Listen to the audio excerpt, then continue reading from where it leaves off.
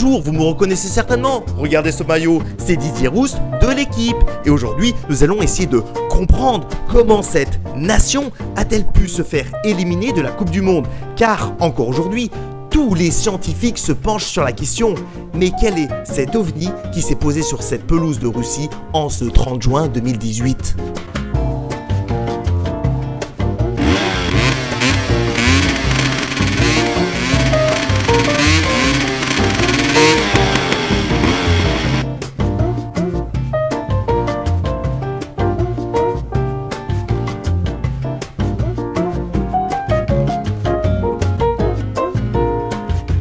Hernandez qui centre bien, qui centre bien, ça a été contre dernier moment. Et Mbappé qui accélère Et Mbappé qui accélère et qui lance ce ballon entre les jambes. Oh Sylvain, il l'a vu Oui. Kylian Mbappé Kylian Mbappé, il l'a vu Ça fait 4 et ça fait peut-être un quart de finale pour l'équipe de France.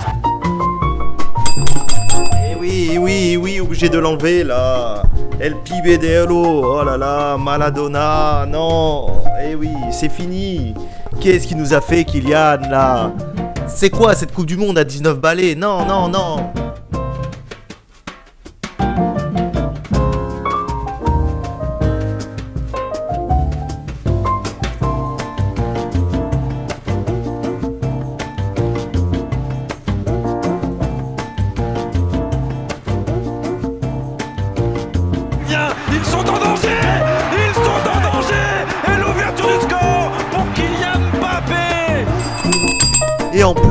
C'est lui qui clôture la finale. Car si le but de Pogba a assommé les Croates, le but de Kylian, lui, a enterré toute chance à la Croatie de revenir. Et en plus, quelle facilité dans le geste Un tel relâchement en finale, c'est pas croyable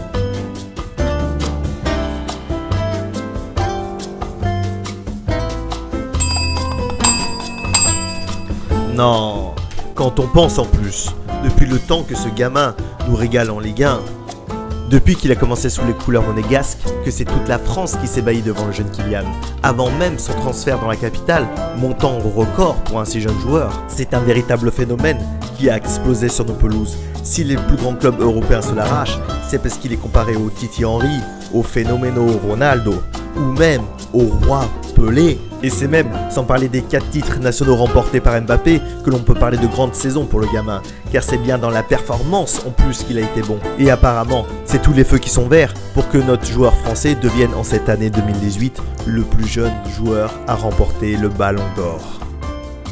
Qu'est-ce qu'il y a? C'est pas vrai, il a pas réussi une saison formidable notre Kylian Mbappé? C'est tous les week-ends qui nous fait profiter de son talent. Ça me paraît une évidence, tu n'es pas d'accord? Alors, Mbappé ballon d'or. Bonsoir messieurs et mesdames, et le grand gagnant 2018 est Kylian. Kylian M. Kylian M. Aimes-tu Cristiano Ronaldo?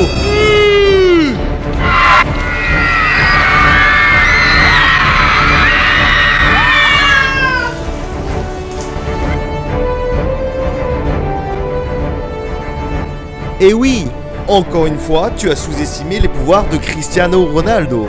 Tu as dû voir récemment le trophée UEFA. Et ça a dû ne pas t'échapper, il n'y a pas un seul Français. Et tu dois te dire que ce n'est pas normal car on a gagné la Coupe du Monde. Mais paraît-il qu'il ne prendrait que les performances en club.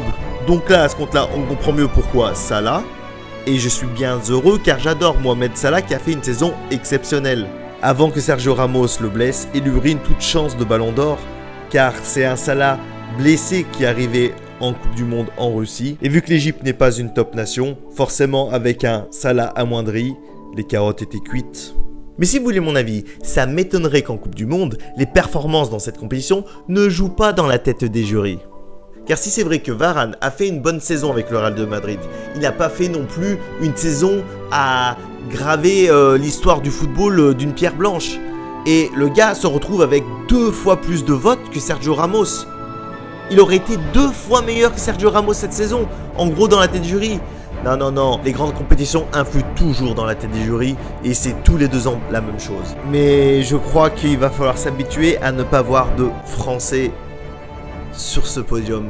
Car sincèrement, si ces trois joueurs ont leur place sur le podium, on peut se dire que un cas comme Griezmann aurait pu aussi l'être. Il ne faut pas oublier que cette année, l'Atlético a gagné l'Europa League, emmené par un très grand Griezmann, qui d'ailleurs, même en finale, a emmené les siens vers la victoire avec panache. Sans compter que l'Atlético a fini deuxième du championnat d'Espagne. Mais ce qu'il faut bien comprendre, pour apprécier à sa juste valeur les performances de Griezmann et de l'Atlético sur cette saison, c'est que cette année, alors que le Barça n'était pas du tout flamboyant, ils ont été touchés par la grâce tout le long en championnat. Le FC Barcelone a réalisé cette année la plus grande saison qu'un club espagnol n'a jamais fait dans ce championnat. C'est simple, ils ont terminé champion invaincu.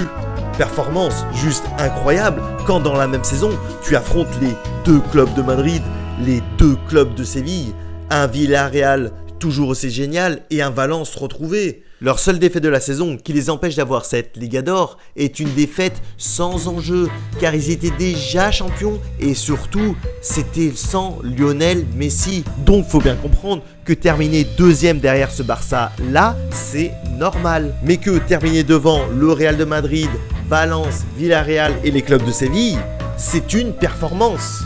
Et sans compter que dans la tête du jury, on sait que Griezmann est champion du monde, on aurait pu se dire que ce Français-là aurait mérité un petit podium.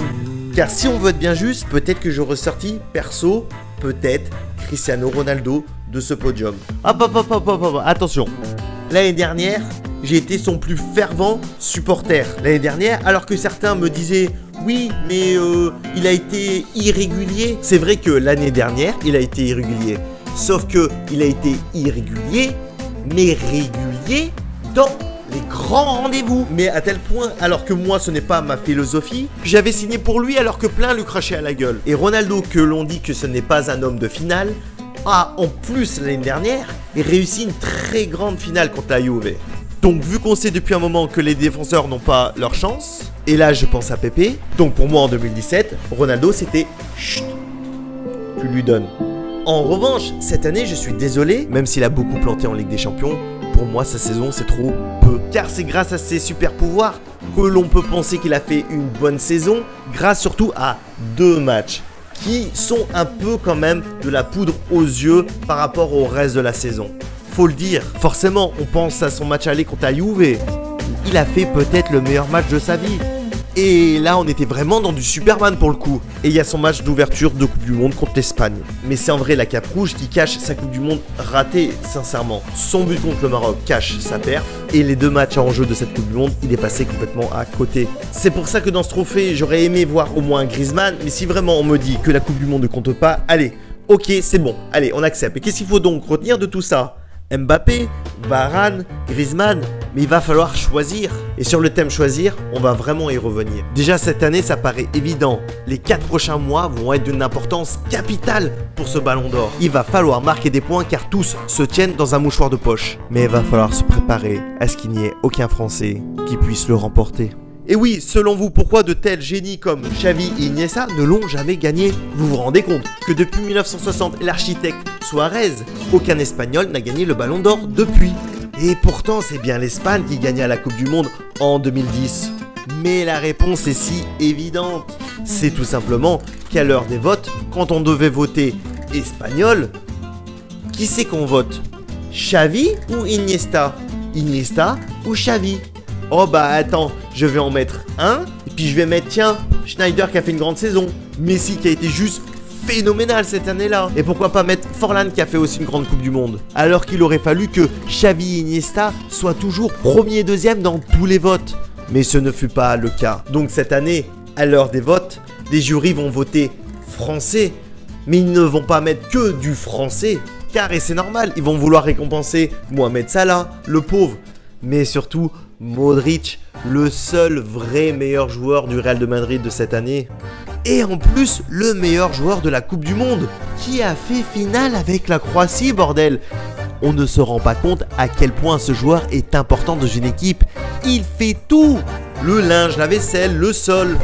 C'est vraiment une pépite incroyable et entre nous, son ballon d'or ne serait vraiment pas volé. Mais nous Français, on est champion du monde, bordel Et si on veut pas que ça fasse comme en 2010 et les Espagnols, on doit mettre un seul porte-drapeau et donc sacrifier des joueurs qui le mériteraient peut-être autant. Mais entre nous, puisqu'il faut choisir, je choisis Kylian Mbappé. Pour la simple raison que mon Grisou, pour moi, son année extraordinaire, c'était en 2016. Mais cette année, pour moi, sa Coupe du Monde a été un peu surcotée quand même. Vous vous rendez compte et je ne comprends pas comment ça se fait que avant la finale, Griezmann était classé le troisième meilleur joueur de cette Coupe du Monde. Comment est-ce possible alors que pour moi, il n'est même pas dans les trois meilleurs joueurs français? Oui, on en parlait tout à l'heure, mais pour moi, Varane a plus brillé. N'Golo Kanté également, ça a été le meilleur milieu de terrain français. Forcément Mbappé, on en a déjà parlé tout à l'heure, mais même si je suis pas fan, je pense que Pogba a fait une meilleure Coupe du Monde que Griezmann. Et d'ailleurs, vive l'incohérence, ces mêmes gens qui ont voté pour les mêmes joueurs que moi pour l'équipe type, ou donc il n'y a pas Griezmann, qui a été, soyons bien d'accord, à des années-lumière d'Eden Hazard, à des années-lumière de Modric. Et j'irai même plus loin que si on compte les gardiens, je mets donc aussi Loris devant, ce qui fait que Griezmann ne serait même pas dans le top 5 français. Donc je milite pour Kylian, qui est le seul à avoir une chance de concurrencer Modric. Le jeune grand talent contre le talent confirmé. Même si je vais être franc, les cartes paraissent déjà jouées. Pour toutes les raisons que j'ai évoquées avant, mais aussi, et retenez bien ça, pour la jurisprudence Nedved. Pour rafraîchir la mémoire de certains, je vais rappeler qu'est-ce que c'est que la jurisprudence Nedved. Si Thierry Henry a une statue en Angleterre, ce n'est pas pour rien. À sa grande époque, il flottait littéralement sur toutes les pelouses anglaises.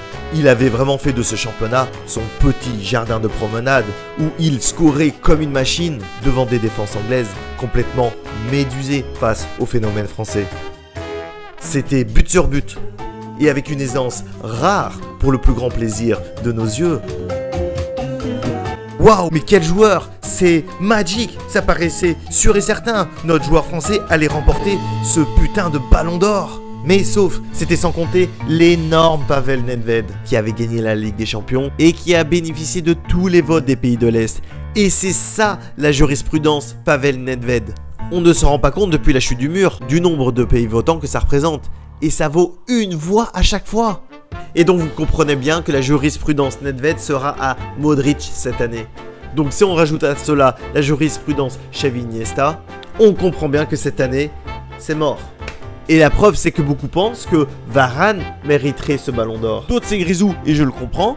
Eh bien moi je pense que pour avoir une seule chance, pour nous Français d'avoir cette récompense, il faut qu'on vote Mbappé. C'est le seul moyen d'y arriver. Oublions les autres, nous sommes obligés. Donc Nasser, toi qui aimes bien parler dans la presse, c'est le moment ou jamais de faire la pub pour ton petit protégé.